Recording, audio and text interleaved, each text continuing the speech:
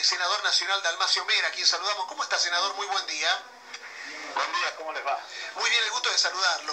Bueno, eh, senador, eh, nos metemos en contexto antes que nada de lo que ha acontecido este último fin de semana a nivel nacional, en, una, en un fin de semana reflexivo, ¿no? Por esto de la ratificación de un acta importantísima en el marco del Bicentenario. ¿Cuál es su reflexión en lo político y en lo personal? Creo que lo primero tiene que ver exactamente con eso, con la reflexión, ¿no? Hacer eh, una introspección y mirar para atrás y, ver y analizar lo que hace 200 años eh, muchos argentinos eh, decidieron la, independencia y decidieron vivir en libertad, dando un paso que, que tenía sus dificultades naturalmente, eh, que tenía distintas visiones, eh, que no era sencillo. Eh, por ejemplo, nuestro congresal Acevedo, a quien estuvimos rindiendo homenaje en Belén el día 9 de julio junto al, al, párroco, al intendente, a los concejales y al pueblo de Belén, él tenía una visión de que debíamos convertirnos en una monarquía inca, eh, para devolverle a los pueblos originarios el despojo cometido por la colonia. Eh, recordemos que había un proceso de, retorno de Fernando VII eh, después de haber estado preso y después del bonapartismo y eso todo tenía un proceso muy muy violento, sobre todo para, para, para las colonias en las que estábamos insertos nosotros y, y después de declarada la, la independencia el 9 de julio, eh, inclusive algunos buscaban el protectorado eh, de, Gran Bretaña, del Reino Unido o de Portugal. O un momento de mucha, de mucha convulsión y, no obstante ese momento de convulsión, nuestros congresales con mucho coraje, con mucha decisión, eh, tomaron la propuesta esta por consenso, a pesar de las diferentes variantes que tenía, la situación y declararon eh, nuestra independencia, que nos, nos, siguió costando guerras, que en 1853 recién pudimos lograr eh, nuestra constitución, eh, de, una, de, una lucha y de una decisión tomada en 1810. ¿Qué quiero decir con esto? Que los procesos trascendentes son procesos largos, son procesos que no son graciosos, que no son simples, que no son sencillos, pero cuando valen la pena, eh, como es el, tema de autodeterminación de los pueblos, eh, la verdad que, hay que rendirle homenaje a los que lo transitaron. Y el otro paso es proponernos nosotros qué vamos a hacer para la generación del tricentenario. Ellos nos dejaron la libertad y nos dejaron la independencia.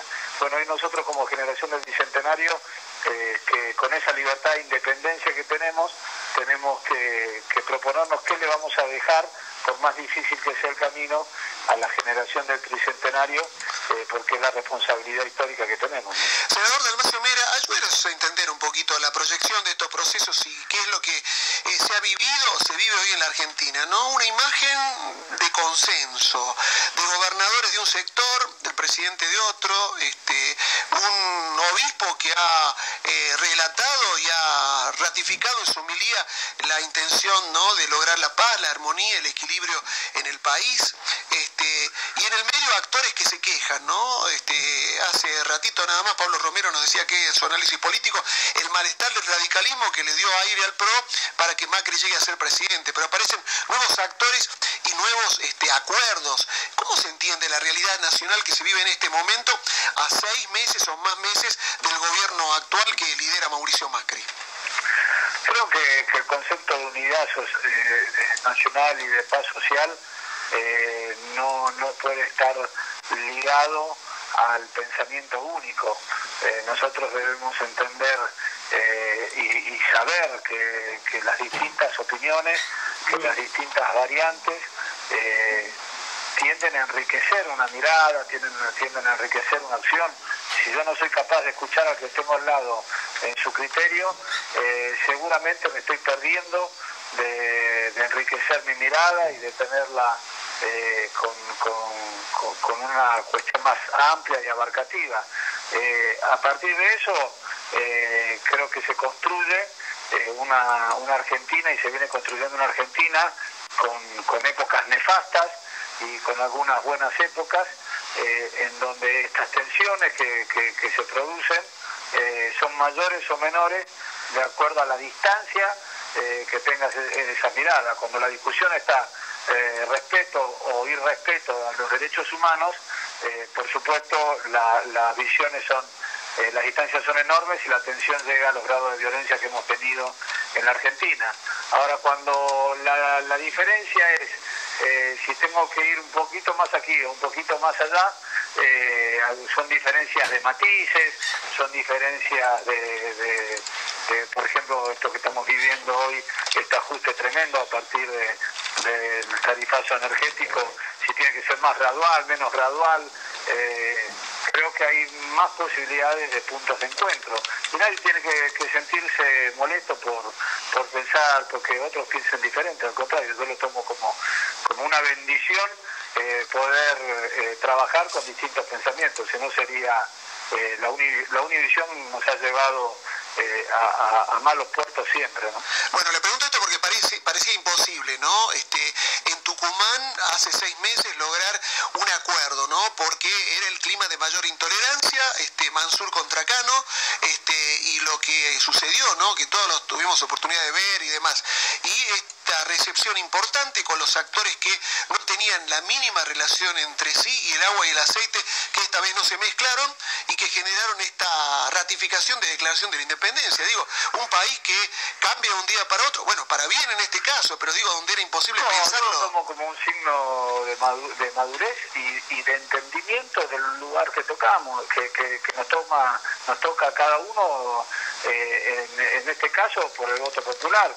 Eh, mal haría yo usar la banca que el pueblo de Catamarca me dio como senador de la Nación para eh, dedicarme a mis rencillas personales, a, dedicarme a, atacar o a, quienes considero que, no son mis amigos o a beneficiar a los que sí considero amigos.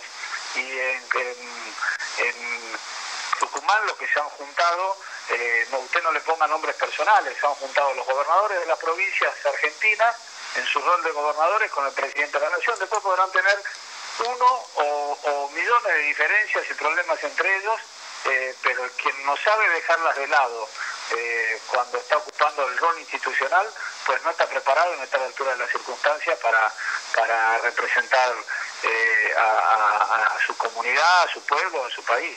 Senador, no ninguna duda. Sí, eh, ¿qué tal? Buen día, senador. Eh, justamente hablando de las relaciones, bueno, en lo político, ¿se había generado algún distanciamiento entre su sector Participación Plural y el gobierno en general, pero bueno, directamente con la figura de la gobernadora? ¿Cómo está esta situación luego de lo que pasó con la reforma judicial? No, nosotros tuvimos concretamente y, públicamente una decisión política del bloque de escindirse eh, justamente porque entendían que no podían plantear muchas veces estas diferencias eh, o sus criterios o sus prioridades eh, y, en esa en esa conjunción decidieron tener una impronta personal para poder plantear las miradas propias que, que tengan eh, y los matices propios que, que, tengan, entendiendo que, que, justamente enriquecen, no, no, no es una cuestión de amigos y enemigos, desgraciadamente hay algunos que miran la política eh, con esa lógica.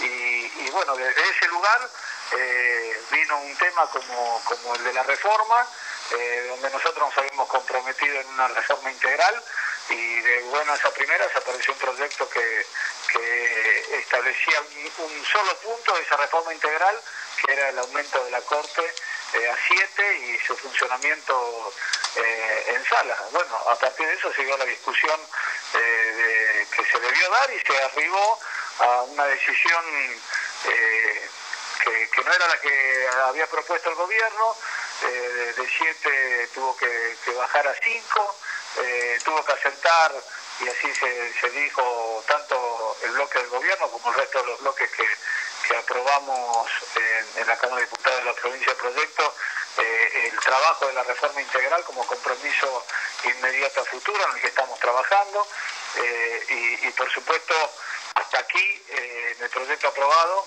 no, nada, nada respecto del funcionamiento en salas, que es una, cuestión bastante interesante, pero esto no tiene que, insisto, ponernos en la lógica de, amigos y enemigos, tiene que ponernos la lógica de que tenemos en muchas cosas criterios eh, similares que no son iguales, y en otras criterios distintos y en otras tendremos criterios iguales y hay que aprender a, construir eh, en, ese, en esa tolerancia, en, ese disenso, eh, para sacar lo mejor para Catamarca. Bueno, eh, con quien sí sé que usted está molesto es con la Unión Industrial de Catamarca, por esto de los planteos de los legisladores nacionales en torno al tema energético. No, no, la verdad que no tengo, tengo más que molestia, tengo agradecimiento a la, Unión Industrial y a otras organizaciones de la provincia como ASOLCAT, porque en el mes de marzo, cuando eh, se advertía eh, el, incremento enorme de las tarifas, porque ya había sacado las resoluciones del gobierno nacional, en la provincia ya en enero se había eh, planteado un aumento de la energía, les pedí reuniones, hablé con ellos, nos reunimos, se reunieron equipos técnicos que trabajan conmigo, con el ingeniero Bracamonte de la Unión Industrial, yo hablé con el ingeniero Colombo, con quien tengo una muy buena relación y una alta estima eh, respecto de, las proyecciones y lo grave que podía, que podía ser esto. Me ayudaron en el trabajo, en darme su visión. Después me reuní con el ministro de la Nación, Aranguren, le advertí este problema que iba a venir, le advertí que, que iba a ser un retroceso, le advertí que teníamos que abrir un paraguas de tiempo para ver las distintas realidades. Le comenté que en, Catamarca eh, teníamos distintas realidades que se daban entre el comercio, la industria, eh, la agricultura. Eh, me, aceptó lo de la agricultura y me pidió que, me dijo que no tenía problema en, plantear una tarifa diferenciada en, el, respecto de los que regamos, como son las provincias nuestras áridas, con bombeo. Presenté el proyecto de ley. después de lo otro me dijo que me podía avalar ante el ministro del Interior la situación que yo planteaba para que la provincia recibiera un subsidio. Se lo planteé al ministro del Interior, el ministro del Interior me derivó a su viceministro y el viceministro se comprometió conmigo en, en, ayudar a un subsidio y discutirlo con los equipos técnicos de la provincia para ver qué sectores hay que subsidiar más o menos. Esto que yo se los digo, se lo planteé a la gobernadora posterior a haber eh, recibido este compromiso de nación para que para que la gobernadora mande sus equipos técnicos. Hablé con el con el presidente de la empresa, con el licenciado Barón de dos oportunidades. En la primera él no tenía una noción concreta del impacto porque todavía no se habían generado las facturaciones. En la segunda hablé delante de la gobernadora diciéndole esto que les comentaba, que Nación había asumido un compromiso y que hable con el viceministro del Interior y que yo quedaba a disposición para, para lo que ellos necesiten. Eh, hemos presentado proyectos de ley, hemos eh, de alguna manera interpretado cuando lo convocamos a una comisión de la que soy parte eh, al, Senado de la Nación, al ministro de Energía, Aranguren, para plantearle el enorme problema. Y bueno, hoy todo está en un impasse. Quiero decir que he recibido llamados de la Unión Industrial para, para aclararme, para decirme que, las declaraciones que hicieron no se referían a mi persona, eh, pero todo hoy, lo importante es que hoy está todo en un impasse. A nivel provincial, con el aumento que generó la, la provincia, con una cautelar que el gobierno eh, apeló y, hay que ver qué pasa. Y el otro gran aumento que generó la Nación está con una cautelar que, y con una decisión de fondo también en alguna jurisdicción, creo que es la de La Plata, eh, donde se ha eh, impedido el aumento eh, en toda la Argentina. Entonces, en este momento hay un impasse que lo que sería positivo es que los gobiernos, tanto nacional como los provinciales, lleguen a un acuerdo porque son situaciones diferentes eh, en cada provincia y adentro de cada provincia depende cómo impacta cada uno de los sectores. Eh, nosotros también a nivel provincial con el bloque del PPP hemos presentado eh, una ley de emergencia provincial que tiene estado parlamentario, la hemos presentado hace más de un mes, planteando esta situación de, lo dificultoso y de lo que genera cierre de comercio, merman el trabajo de las industrias que empiezan a suspender algunas jornadas de trabajo, a mermarlas, eh, enorme problema en el sector eh, de, la agricultura que depende eh, del riego para su producción, llámese la vid, el olivo, la nuez, O sea que hemos, eh, hemos estado trabajando mucho en el tema, vamos a seguir trabajando eh, y bueno, ahora esperemos que, prime la cordura o, la lógica de que con, por sincerar las tarifas, que también es una deuda y hay que reconocerlo, eh, hay que empezar a sincerar las tarifas, pero el sinceramiento brutal que, se ha producido, como lo anticipamos en el mes de marzo, no, no ayer, en el mes de marzo nosotros le dijimos al ministro que iba a pasar esto, hicimos todo lo que, lo que le comento. Eh, así que esperemos que ahora prime la cordura de, los que tienen la decisión y encuentren eh, una, forma lógica y que no perjudique al trabajo de los catamarqueños ni de los argentinos eh, esta necesidad de sincerar las tarifas. Senador Dalmacio Mera, muchísimas gracias como siempre por su deferencia al diálogo con nosotros. Les agradezco mucho y que tengan muy buen día. Que tenga buen día, hasta luego. Radio Ancasti, somos.